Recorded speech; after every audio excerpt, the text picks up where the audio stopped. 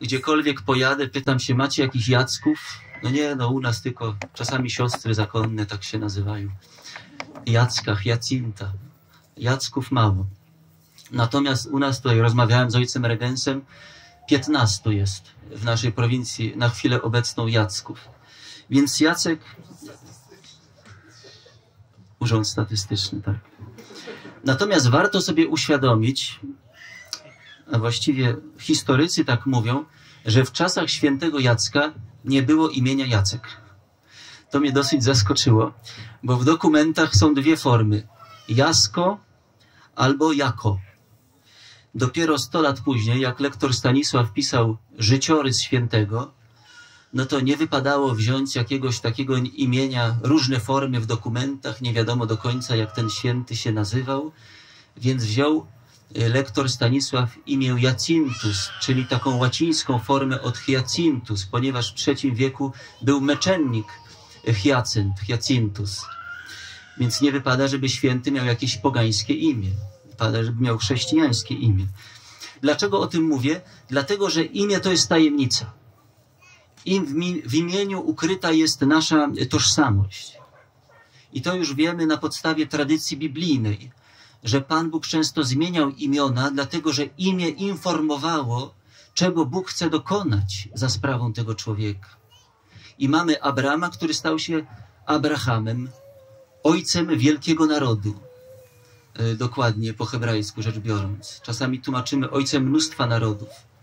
I Abraham po dzień dzisiejszy jest wzorem wiary dla nas, jest ojcem wiary dla nas, czyli Bóg w jego imieniu zapowiedział, co chce zdziałać przez niego. Mamy świętego Piotra, który przecież był Szymonem, ale stał się Petrus, czyli skałą. I po dzień dzisiejszy mamy papieży, tych następcy świętego Piotra, na którym oparta jest ta hierarchia Kościoła, bo w Kościele nie ma demokracji. Pocieszę Was, że w niebie też nie będzie demokracji. To nie jest tak, że możemy sobie wybrać, jaka jest prawda. Prawda jest jedna. Pan Bóg jest prawdą i nikt tego miejsca nie może Panu Bogu odebrać, nawet jakby komuś się wydawało, że kadencja już się skończyła. Y, więc rozważamy, co nam chce Bóg powiedzieć przez świętego Jacka, co nam chce powiedzieć przez jego imię. A jeszcze jedna uwaga. Y, czytałem ostatnio, y, że nawet badania psychologiczne potwierdzają, że ludzie, którzy mają to samo imię, wykazują podobne cechy charakteru. Więc ważne, jakie mamy imię. Ja pamiętam, w ogóle przed tą pielgrzymką rozmawiałem z rodzicami. Oni mi mówią, ty miałeś być Tomasz. Ja o nie miałem, dlatego że całe dzieciństwo marzyłem o tym imieniu.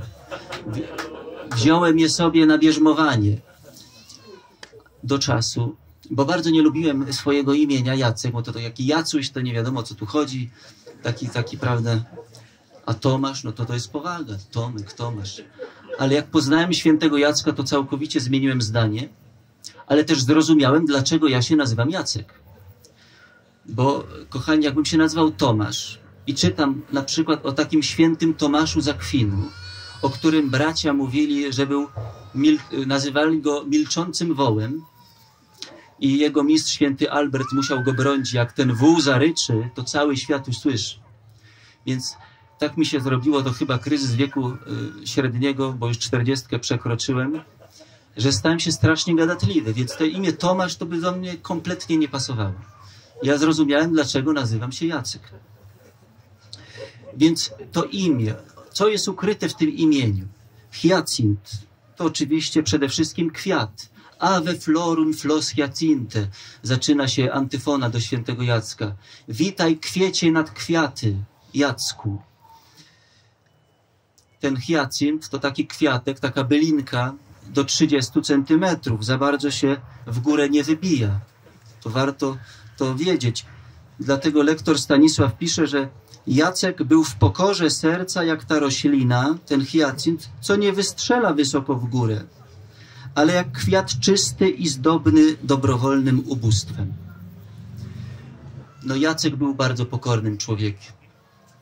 Bardzo szybko zrzekł się urzędu przeora w Krakowie, a nawet nie był pierwszym formalnym prowincjałem polsko-czeskiej prowincji, bo chciał być misjonarzem i w 25 roku wyrusza z Krakowa zakładać nowe klasztory i założył ich chyba 24 czy więcej, jeśli się nie mylę. Y, więc wielka pokora. I myślę, tej pokory też święty Jacek chce nas dzisiaj nauczyć, bo tak się zrobiło w tej naszej kulturze, że każdy chce być naj. Każdy chce być takim najpiękniejszym kwiatem na całej łące. A coraz mniej nas cieszy to, że razem tworzymy e, coś kolorowego, coś e, pięknego. Pewnie jakby tej mszy świętej nie było, to by trawa nie została skoszona i moglibyśmy tutaj podziwiać maki różnokolorowe, chabry, piękna łąka. A z tej łąki teraz zostały już takie pasikoniki, co nam skaczą po plecakach, a kiedyś pewnie tu skakały sobie z kwiatka na kwiatek. Więc pokora jest potrzebna, żeby człowiek nie chciał być narcyzem, ale chciał być hiacintem. Chciał być tym, który tworzy z innymi coś pięknego. Żeby nie grał tylko na siebie. Wiecie, ten narcyz pojawia się na przykład w pieśni nad pieśniami. Oblubienica mówi, oto ja, narcyz Szaronu. A oblubieniec odpowiada, no rzeczywiście, jak lilia między ciernie. Wszystko inne przy tobie to ciernie. Ty jesteś najpiękniejszy. I tego dzisiaj jakoś chcemy, być najpiękniejsi, najlepsi, naj wszechwiedzący jak Pan Bóg, najlepiej wiedzieć od drugiego. Rywalizujemy z sobą i wprawiamy się w te lęki różne. Właśnie w naszej grupie próbujemy leczyć te różne lęki, które w sobie nosimy. Lęk przed rywalizacją, że nie będę najpiękniejszy i nie będę najmądrzejszy. A trzeba odnowić w sobie przez pokorę właśnie ten zmysł wspólnoty, by cieszyć się tym, że ktoś ma wspaniały talent, tak jak brat y, Jan, który nam tu pięknie zaśpiewał i pięknie na wielbieniu śpiewa. Trzeba mieć talent. I trzeba zaakceptować to, że ja tego talentu nie mam, ale cieszę się, że on ma, bo dzięki niemu mogę się pięknie modlić. I mogę wsłuchać pięknie zaśpiewanej Ewangelii. To wzajemne docenianie się. Umiejętność bycia hiacintem, e, tym pokornym, który jest częścią większej całości. I kochani, gdyby nie pokora, to Pan Bóg nie mógłby działać w życiu świętego Jacka. Pan Bóg uwielbia ludzi pokornych bo oni mu nie stawiają granic. Jak człowiek chce wszystko o własnych siłach i liczy tylko na siebie, to wiąże Bogu ręce. Ale właśnie dzięki tej pokorze święty Jacek mógł zostać Jackiem cudotwórcą. Bóg mógł przez niego działać niesamowite cuda, łącznie z skrzeszeniami i różnymi uzdrowieniami, y, przejściami przez rzeki, różne cudowne rzeczy bo nie stawiał Bogu y, barier.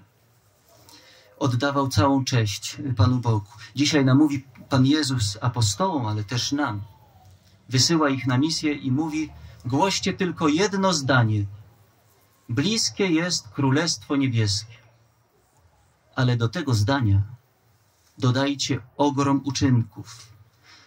Y, macie uzdrawiać, wskrzeszać, wypędzać złe duchy, y, czyli dokonywać tego, co Bóg może uczynić. A więc bądźcie pokorni. Także idźcie w ubóstwie. Idźcie y, nie nosząc sandałów na zmianę i habitów na zmianę.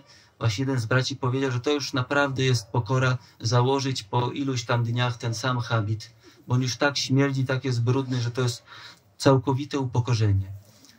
I Pan Jezus mówi, no nie zabieraj drugiego habitu.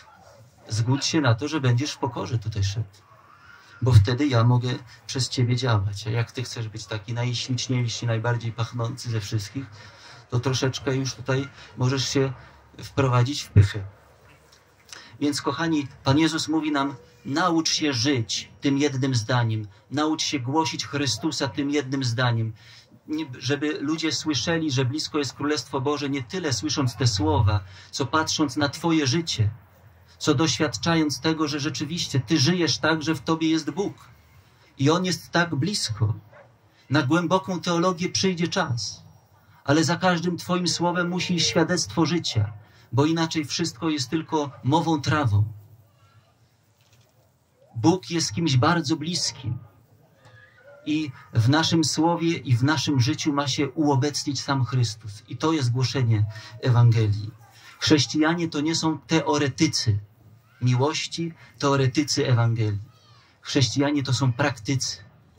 W skrajnej postaci powiedział mi to jeden y, członek naszej grupy, takie świadectwo jednej osoby, która mówi, że jego dewizą życiową jest to, że nie mów ludziom o Chrystusie, ale żyj tak, by ludzie sami chcieli Cię pytać o Chrystusa. Jakoś jest to mi bardzo bliskie, chociaż jestem dominikaninem, czyli tym od gadania o Panu Jezusie.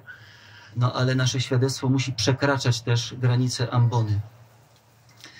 Yy, więc tego nas uczy święty Jacek. Jeżeli jest pokora, to działa sam Bóg. I czasami w bardzo prostych słowach jest ogrom Bożej miłości, która dociera w głębie ludzkiego serca. Po drugie, hiacynt, jak tłumaczą, to jest szlachetny kamień. I to taki kamień o barwie ognia. To jest ciekawe, że święty Jacek urodził się w kamieniu opolskim. Gdzieś ten kamień w jego tożsamości jest, jest bliski.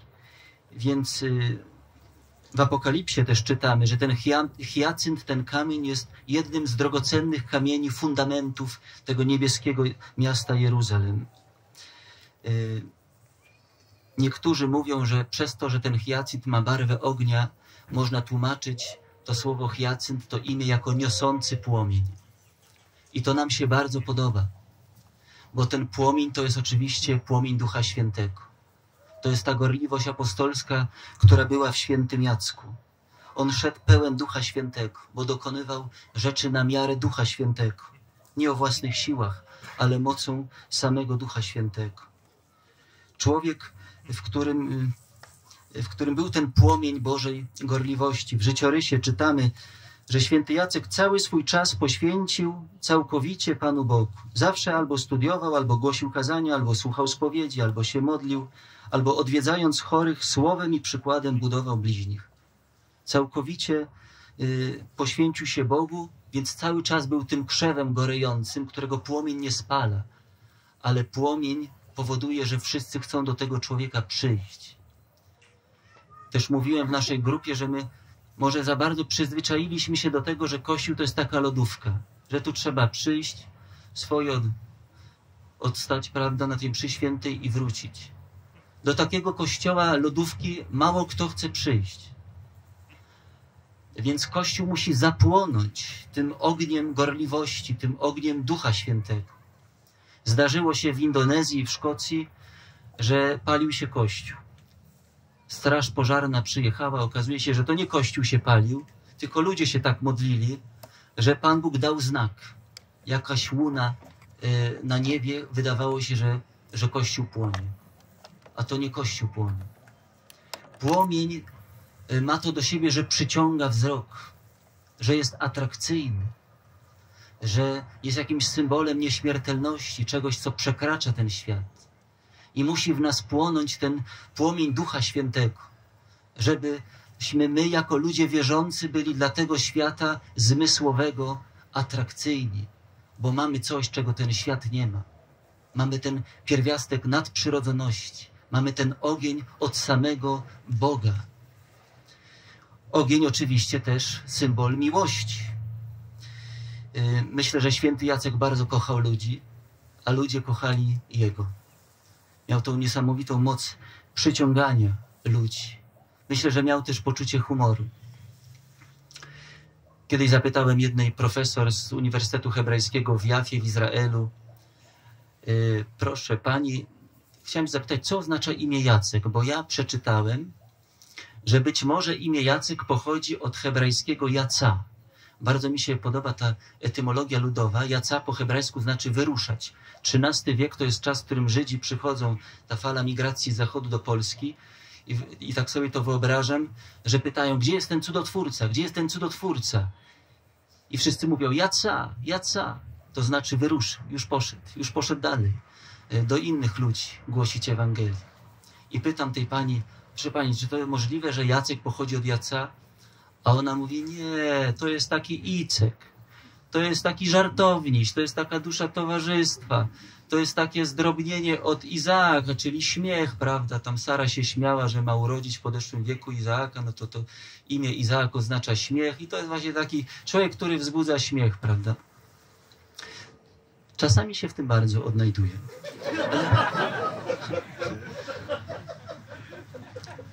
Więc dobre imię rodzice wybrali. W każdym bądź razie myślę, że święty Jacek miał ten, ten, to poczucie humoru, coś tak, taki element tego żartu, który zjednuje ludzi, tą radość. Jak sobie czytam te opisy, jak to z Kijowa uciekał, zabrał Najświętszy Sakrament i Maryja mówi, a ja, o mamo, ty to jesteś za ciężki. No przecież tu gdzieś, gdzieś tu pobrzmiewa to poczucie humoru. No.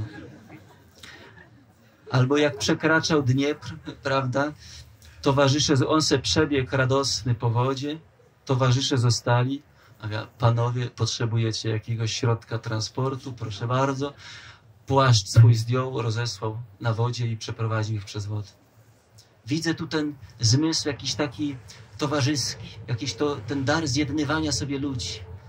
Ta dusza, z którą chce się być, która przyciąga jak płomień ludzi i która też daje to, czego świat nie daje. Daje ten ogień miłości, daje tego ducha, tego ducha nieśmiertelności, tego ducha, którego świat dać nie może.